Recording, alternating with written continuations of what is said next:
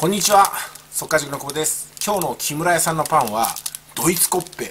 何がドイツやねん。何がドイツやねん。誰がドイツやねん。みたいな感じですけどもカロリーは466キロカロリーでございます。かなりカロリーがあるように見えますけどもこれパン自体がねでかいんですよ。いいですか？この500ミリのペットボトルと比べてみてください。このペットボトルよりでかいんですよ。わかります？このペットボトルよりもでかくて直径もペットボトル以上ありますよ。ちょっと剥いてみましょうかね。いやー何味なんだろうこれ。ほら。これ直径ペットボトルですよ。これ口に入んないですからね。ビッグマックサイズと言ってもいいですね。ちょっとまあ開いてみましょう。あれ？具が入ってない。これは具が入ってないぞ。ということはパン自体の味を楽しめるんですね。いただきます。うん。確かにパンですわ。どうやって食えばいいんだこれは？うん。パン自体の味のレビューしましょうか。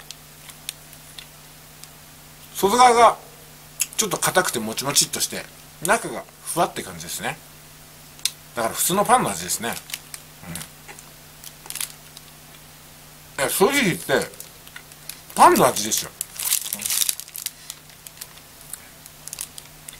何のひねりもないし必要以上に良い質をする必要もないんですけどパンですよ。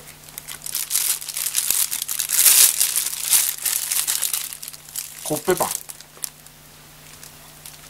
だからいちごジャムとかなんかつけないといけないですね。もしくはこう切ってねちょっとこんがりと焼くと美味しい風味がするんじゃないかなと思います。そんな感じですかね。はいということで実際に焼いてみましたけどもねこんがり。おこれはいいんじゃないですか？すごく香りがいいですよ。